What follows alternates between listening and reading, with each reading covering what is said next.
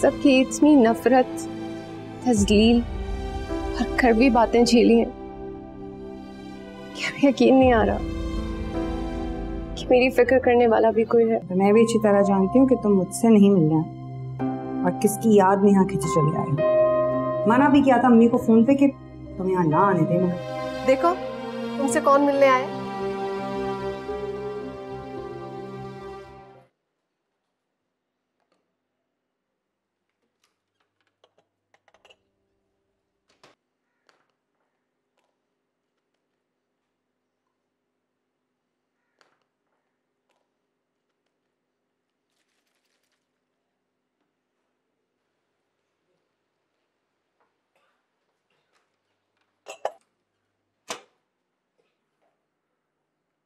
नाराज़ हो मुझसे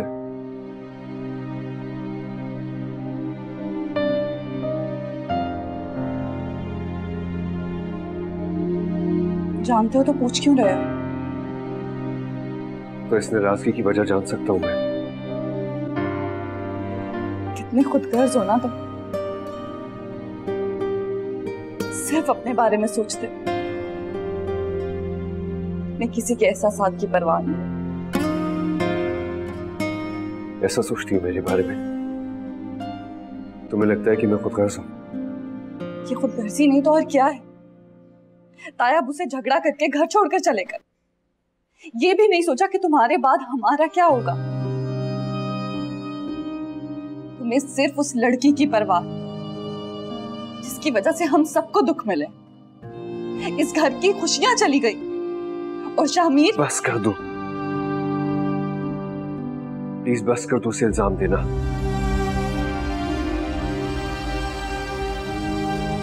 मैं तुम्हें कैसे समझाऊं कि उस लड़की ने कुछ नहीं किया? मासूम है वो। अगर कहीं कोई भी ज्यादती हुई है तो हमने उसके साथ की है।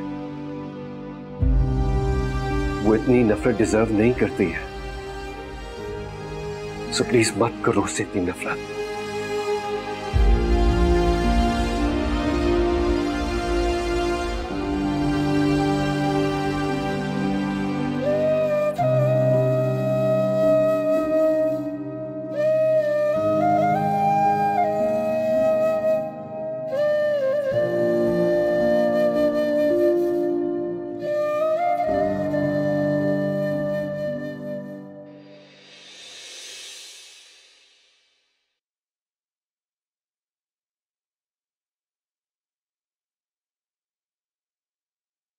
कॉफ़ी।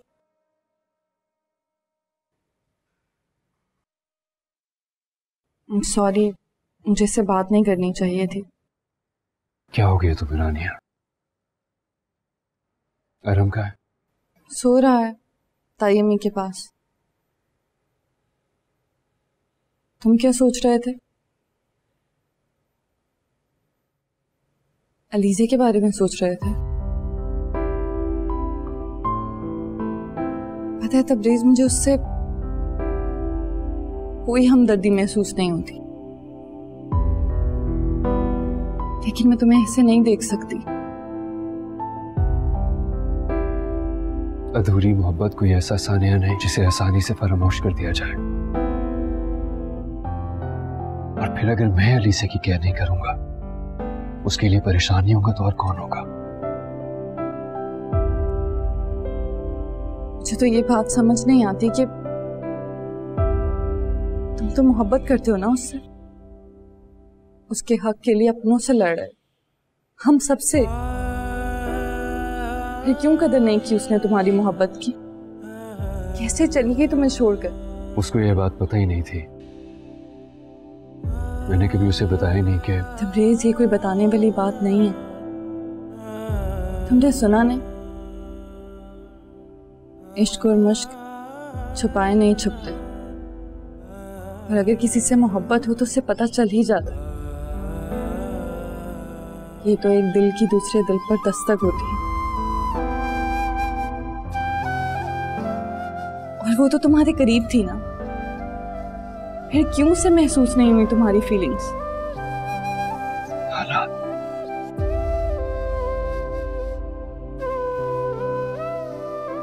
बहुत मैटर करते हैं, रानिया। ट्रस्ट में उसमें उसका कोई कसूर नहीं है। इस घर में उसके साथ जो बर्ताव था, जिस तरीके से उसके साथ नफरत का इजहार किया गया, बार बार उसे धुतकारा गया। तुम ही बताओ मुझे, मेरी मोहब्बत की दस्तक उसके दिल तक कैसे पहुँचती?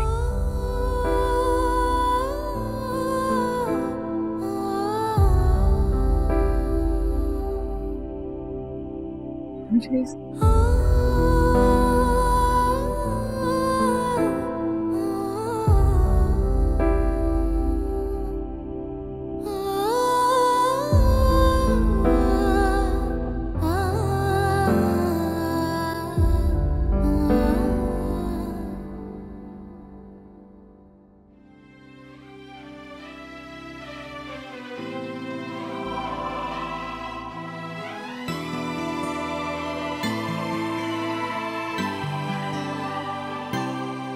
तो आप रानिया से कह दें।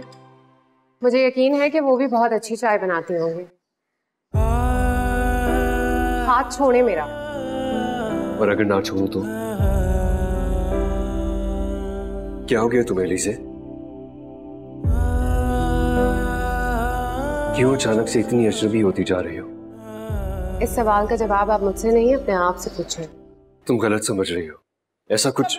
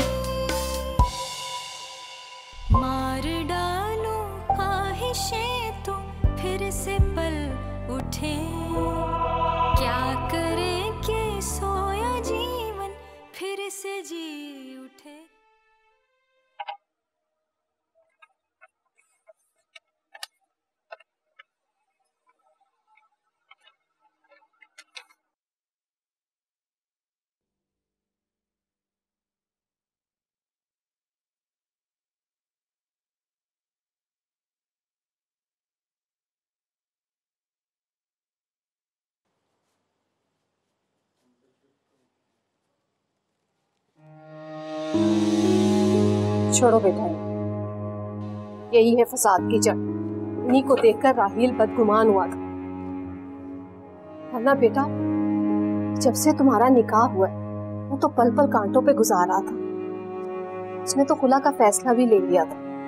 लेकिन जैसे उसने ये कार्ड्स पढ़े, समझा शायद तुम भी। लेकिन अम्मी, मैं, खैर, तुम परेशान ना अब तुम घर वापस आ गई हो ना?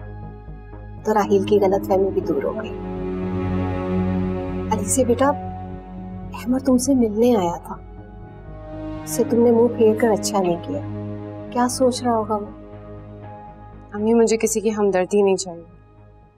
बेटा वो तुमसे हमदर्दी जताने नहीं आया था। तुम्हारी फ़िक्र में आया था। बेटा मोहब्बत अपनापन हमदर्दी में फ़र्क करना सीखो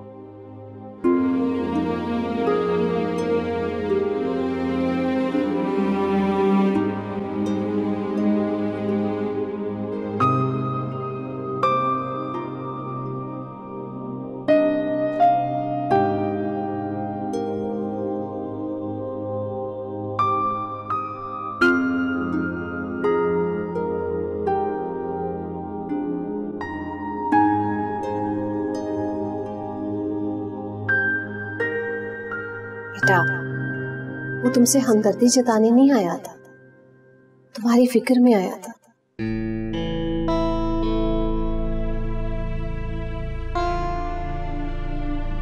मोहब्बत, अपनापन और हमदर्दी में फ़र्क करना सीखो।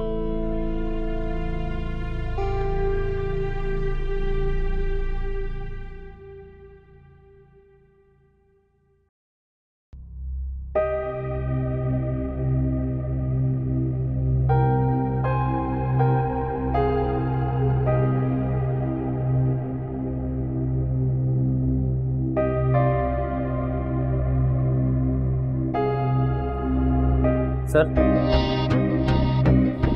ये फ़ाइल मंगाई सर ठीक है तुम जाओ। मैं देख लूँगा।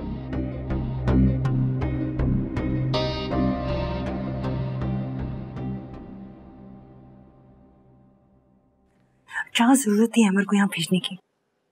पहले ही इस घर में उस लाटो रानी के नखरे उठाने वाली कम है जब वो भी आ गया उसके पैरों के नीचे अपनी हथेलियाँ रखने के लिए। तुम्हें क्या लगता है? मैंने उसे रोका नहीं था? कितनी मरतबा उसे मैंने मना किया मगर उसने मेरी एक बात नहीं सुनी। तो फिर? अब खुश है अपनी इज़्ज़त अफजाई करवा के?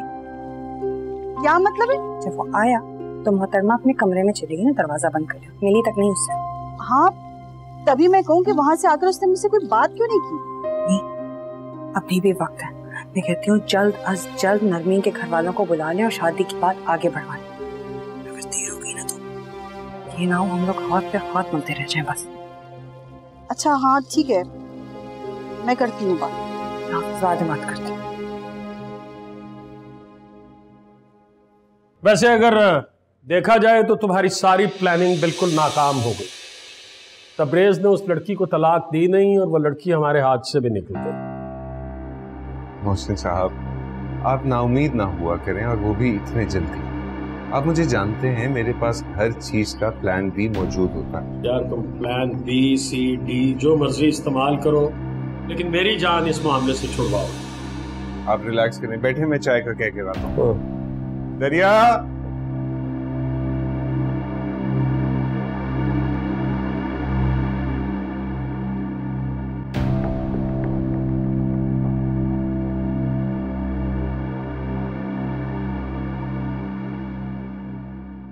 अलीजे के साथ जो कुछ भी हो रहा था उसका अंदाज़ा तो मुझे पहले ही था।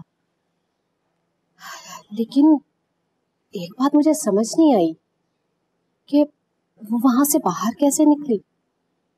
मेरा मतलब है कि वो तो हमें भी नहीं मिलने दे रहे थे। फिर अचानक यही मैं सोच रहा हूँ कि आखिर उन्होंने इसे आने कैसे दिया? वो अकबर का नाम ले रही थी और बहुत सहमी भी थी। राहिल बेटा तुम अलीजे से बात करो। हो सकता है कि तुम्हें कुछ वो तफसील बता दे। जी मैं उससे बात करता हूँ।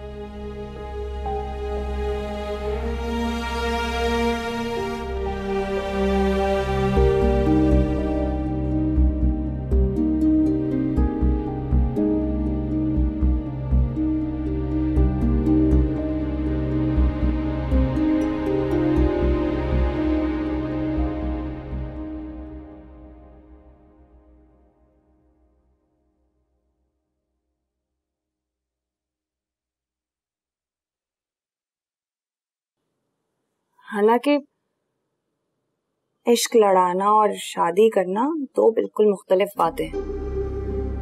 लेकिन अगर तुमने अपने करतूतों पे पर्दा डालकर ये सब कुछ कर ही लिया था शादी कर ली थी तो घर भी बसा लेती। खोटे सिक्के की तरह साल बाद मैं क्या आकर बैठ गई हूँ? यही सोच लेती कि दुनिया वालों को क्या जवाब देंगे। करीना ये क्या ऑल फॉल बोली जा रही? नहीं वो अम, अम, मैं तो अलीजे को बस ऐसे समझा रही थी कि पहले ही देखो, लोग इतनी बातें कर रहे हैं। जिन हालात में शादी हुई है, इतने सवाल उठे, अभी वही बातें नहीं खत्म हुई थी। अब खानदान वालों को एक बार फिर मौका मिल गया है ना? तो करते रहने तो उन्हें बातें। हमें तो कोई फ़र्क नहीं पड़ता। मैं तो अल्लाह का शुक्र अदा कर रहा हूँ कि अलीजे अपनी जान बचाकर उन खबीसों से यहाँ वापस आ गई। और अब अगर किसी को इसके वापस आने से तकलीफ़ है तो वो अपने घर जाके बैठ सकता है। अलीजे से या मेरे किसी घर वाले से कोई भी सवाल जवाब करने का किसी को कोई हक नहीं। चलो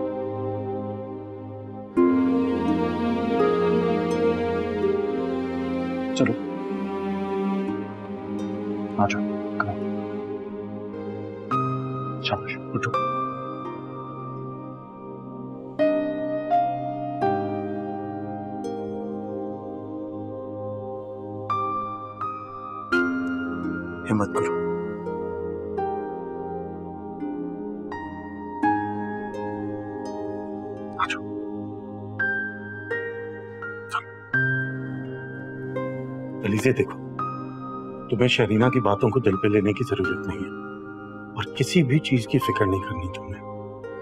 और ना ही लोगों के रवैयों के बारे में ज़्यादा सोचो समझे? मुझे एक बार बताओ। तुम यहाँ पहुँची कैसे? क्या कोई तुम्हारा पीछा कर रहा था?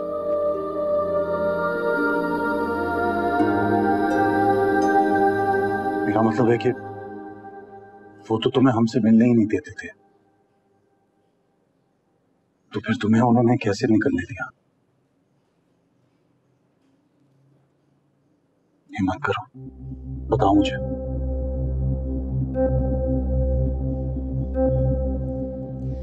भाई भाई वो लोग नहीं चाहते थे कि मैं वहाँ रहूँ उन्होंने मुझे खुद वहाँ से निकाला। फिर अकबर।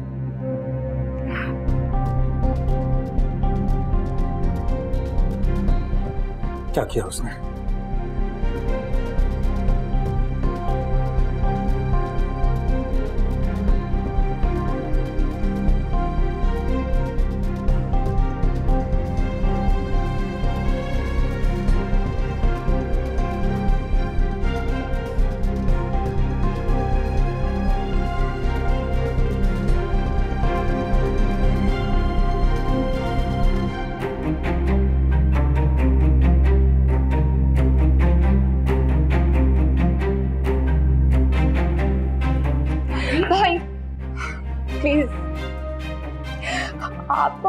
कुछ नहीं करेंगे।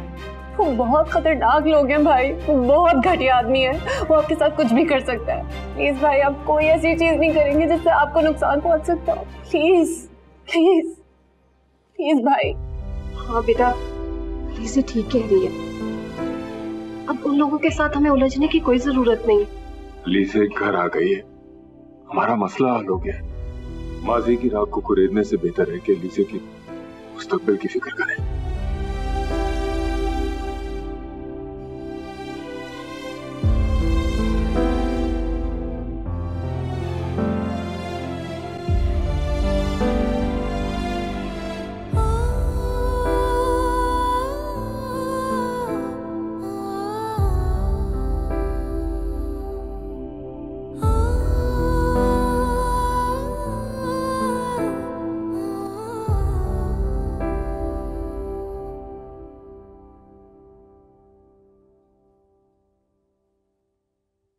सलाल के बाबा कुछ पता चला तुम्हारी भगौड़ी बीवी का? किसके साथ भागी है? आप शायद भूल रहे हैं कि वो आपकी बहू भी है। हाँ। अपने घर में अपनी फैमिली के पास। बात हुई थी मेरी उनसे। कमाल है। घर तो उसे अकबर साहब भी छोड़ने जा रहे थे। लेकिन लगता है घर पहुँचने से पहले ही कोई नया गुल खिलाकर गई है वो। वो तो घर जाना ही नहीं चाहती थी। चलो खैर छोड़ो। दूर करो हमारा क्या लेना देना इससे? हमारा उससे कोई ताल्लुक नहीं। और तुम कब फैसला करोगे? कब तक गले में लटकाए फिरना है इसे? आज नहीं तो कल फैसला तो करना पड़ेगा। जो फैसला आप मुझसे करवाना चाहते हैं उसके लिए मेरी एक शर्त है। क्या? आपको अलीजे की प्रॉपर्टी वापस करनी होगी। बकवास कर रहे हो तुम वो प्रॉपर्टी हमें कसास के बदले में कसास में यहाँ आई थी ना। इसी शर्त में माफ़ किया था आपने उसके भाई को। पूरे एक साल एक साल से वो आप लोगों की जिल्लत और नफरत बर्दाश्त कर रही है। गुलाम बन के रही है आप लोगों की। हिसाब तो पूरा हो गया होगा आपका। वो घर डिमोलिश हो चुका है। और तुम जानते हो कि वहाँ प्लाजा बन रहा है। तो ठीक है। उस प्लाजा में से आपको अलीजे के उसके शेयर्स देने होंगे। सिर्फ़ इसी सूरत में मैं आपकी बात मानने का सोच भी सकता हूँ।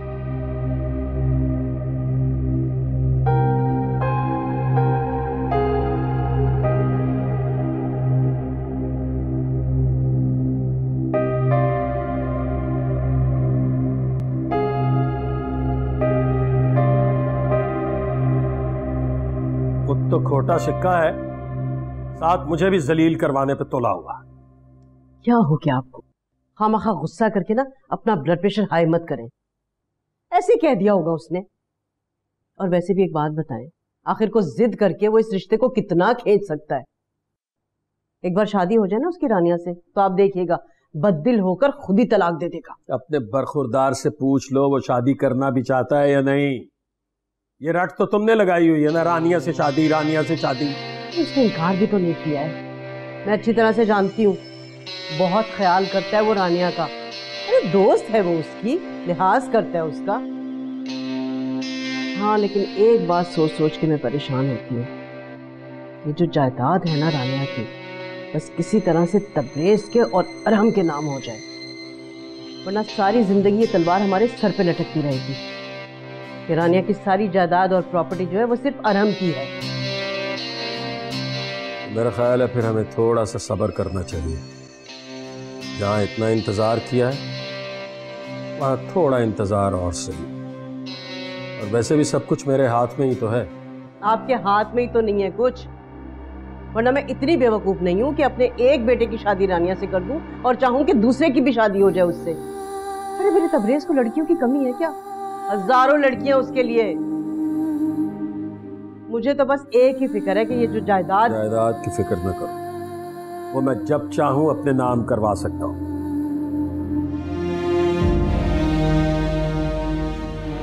मैं सिर्फ़ ये सोच रहा हूँ कि बरादरी वाले खामखा बातें बनाएँगे या हम किसी का हक खा गए।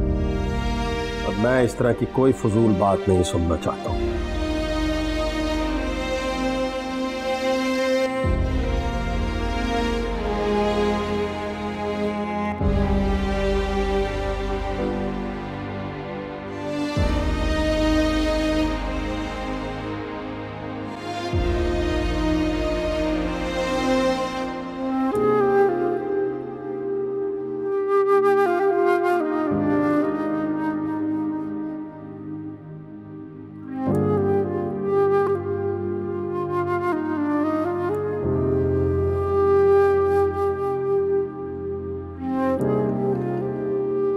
रानिया बिटिया। क्या हुआ? रो क्यों रही हो? सब ठीक तो है ना? कुछ ठीक नहीं है सही अम्मा कुछ भी ठीक नहीं है यहाँ अरे हुआ क्या है? वो तो बताओ। अम्मा क्या इंसान रिश्तों की कोई अहमियत नहीं होती? सिर्फ़ पैसे की अहमियत होती है। सिर्फ़ उसी की कदर होती है। ये प्रॉपर्टी ये घर तायमी और तायाबू के लिए बस यही है मैं मैं अहम नहीं थी। मुझे तो लगा था कि उन्होंने मुझे अपनी औलाद समझकर पाला है। मुझसे मोहब्बत करते हैं। सब झूठ था, सब फरेब था। बेटा ये दुनिया धोखा और फरेब की दुनिया है। जब तक किसी को अपना मतलब ना नज़र आए, ना कोई किसी के काम नहीं आता। तुम तो बहुत ही खुशकिस्मत हो कि तुम्हें बचपन से लेके ताया और ताई ने औलाद की तरह से पाला है। तो उसके पीछे भी तो उनका अपना मकसद था ना। लेकिन बेटा जायदाद और दौलत के साथ भी इंसान तनहा तो नहीं रह सकता ना। तुम अपना दिल बुरा क्यों करती हो? अपने बच्चे के बारे में सोचो। देखो एक बार तुम्हारा फिर घर बस जाएगा। तुम्हारे बच्चे को बाप का नाम मिल जाएगा। और तुम्हें क्या चाहिए बेटा है? तुम्हें तहफुज मिल जाएगा तुम्हें घर मिल जाएगा।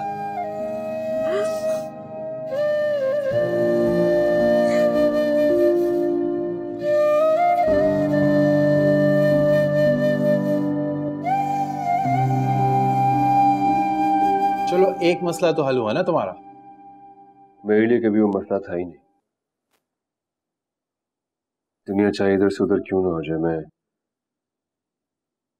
मैं एलिसे को कभी तलाक नहीं दूँगा। और रानिया से शादी? उसके बारे में क्या फैसला तुम्हारा?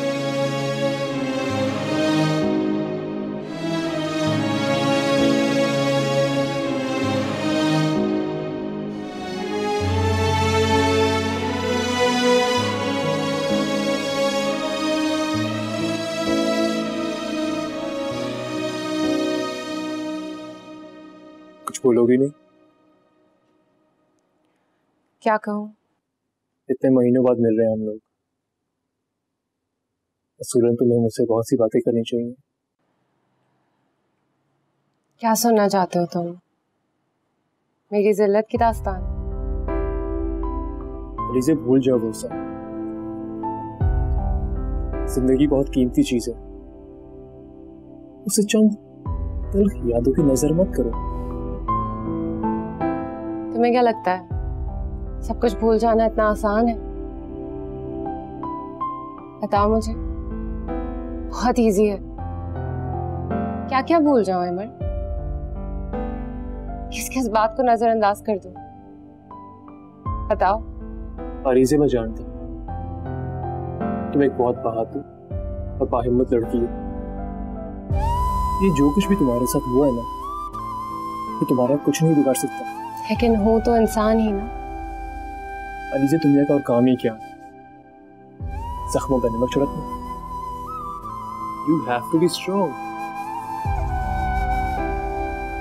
पर एक बात याद रखना। हमेशा तुम्हारे साथ हूँ।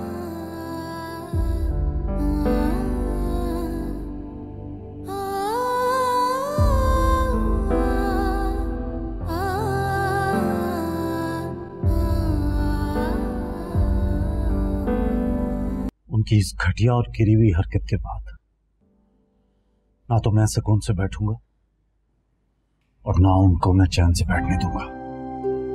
बिल्कुल ठीक कह रहे हैं आप भाईजान अव्वल तो ये हरकत बिल्कुल नाकाबिल कबूल है। और मैं नहीं समझता कि मोहसिन की सपोर्ट के बगैर अकबर ये काम कर सकता। गारत करे ऐसे मुजरमाना जहनीत के लोगों को? बहू घर की इज़्ज़त होती। उन्हें सोचे समझे बिना कैसे उसके साथ भेज दी? ना करे कुछ उसके साथ हो जाता तो।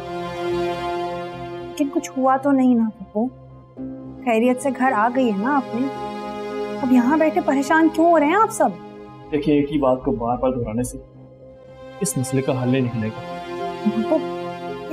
रोज रोज का रोना धोना बंद कर दे।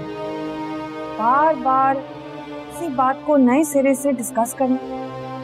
क्या घर के मर्दों को इश्तियाल दिलाना चाहती है? सबकी क्या ज़रूरत है? अल्लाह अल्लाह करके सुकून आने लगता है और नया फसाद बर्पा हो जाता है। तंग आ गई हूँ मैं सबसे। शरीना ठीक कह रही है बेटा। हमें ये मौजू बार बार नहीं दोहराना चाहिए, बल्कि लीजे की फ़िक्र करनी चाहिए। और टूट चुकी है हमें कोशिश करनी चाहिए कि वो ज़िंदगी की तरफ़ वापस आ सके। हमें फ़िक्र तो अलीजे की बहुत है। वो एक बहुत बड़े ट्रॉमा से गुजरी है। उसे नॉर्मल लाइफ में वापस आना ही होगा। और बाकी मैंने एक फैसला किया कि हम अदालत के ज़रिए अलीजे की खुला का केस दायर करेंगे। उसके बाद वो भी आज़ाद हो जाएगी। और खुशी से अपनी ज़िंदगी गुजार सकेगी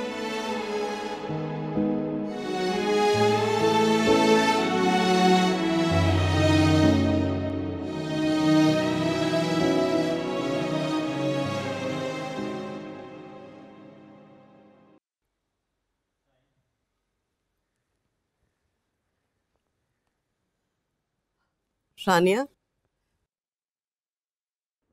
देखो तो सही, जरा क्या लेकर आई हूँ मैं तुम्हारे लिए? ये तुम्हारे निकाह का जोड़ा है। देखो तो सही, कितना खूबसूरत है ना? और ये जो काम बनवाया ना मैंने, बिल्कुल इसी तरह का ना मैंने तुम्हारा सेट भी बनवाया। देखो, सारा हाथ का काम है ये। बहुत ही हसीन है। तुम पहनोगी ना, शहजादी लगोगी शहजादी। देखो तो सही जरा, देख रही हो? देखो कितना खूबसूरत है।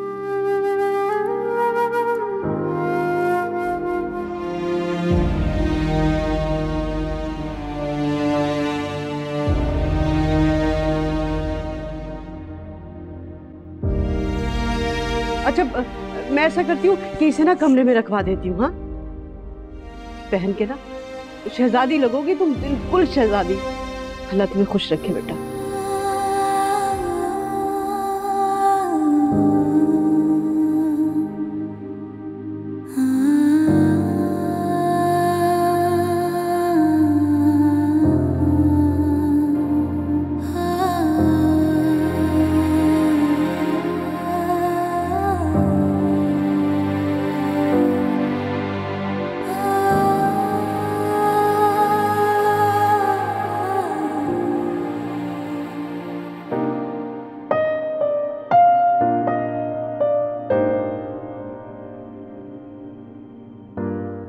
बेटा?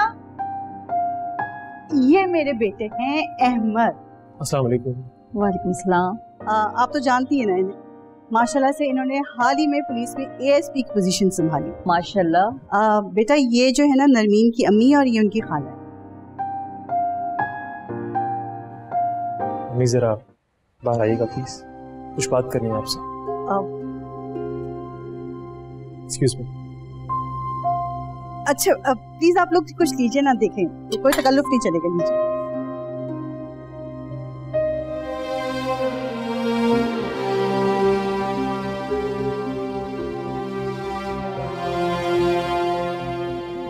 बेटा क्या हो गया तुम्हें?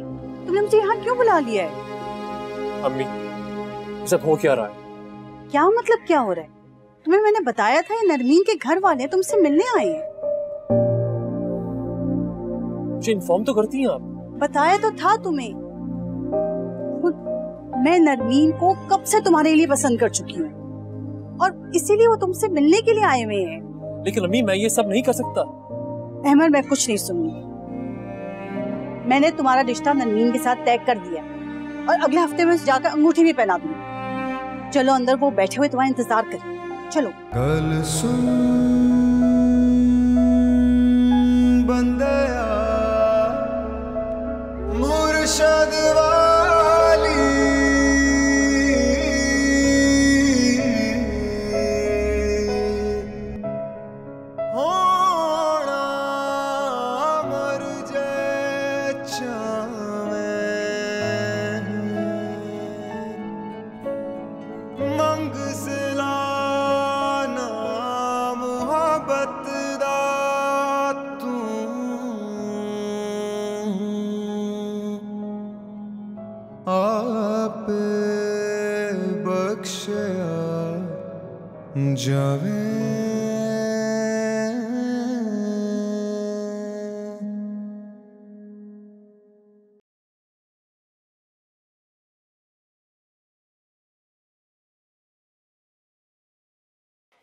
अरहम अरहम क्या हुआ है? क्यों रो रहे हो? अरहम बेटा। अच्छा अच्छा अच्छा अच्छा। अरहम क्या हो रानिया पता नहीं। क्या हो गया रो क्यों रहा इतना? दूर तक आवाज़ आ रही है इसकी। पता नहीं चिड़चिड़ा हो रहा है। मुझे लगता है इसकी तबीयत ठीक नहीं है। को डॉक्टर ले जाए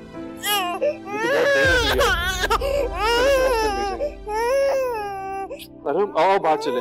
बाहर चलना चाचू के साथ? बाहर चलना?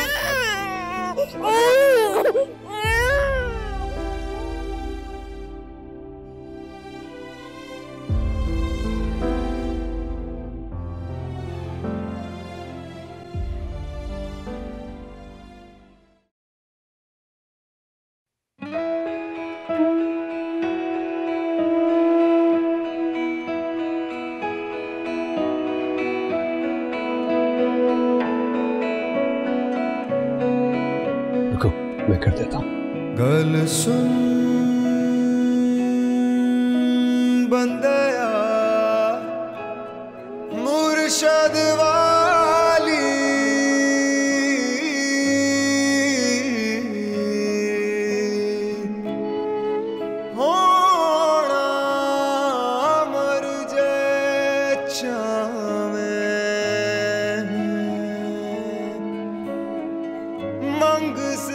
थैंक यू सो मच इसमें थैंक यू की क्या बात है? एहसान थोड़ी है। हक है तुम्हारा। जो मैं पूरा नहीं कर पा रहा हूँ। लेकिन उसका हर किसी मतलब नहीं है कि मैं तुमसे लापरवाह हूँ।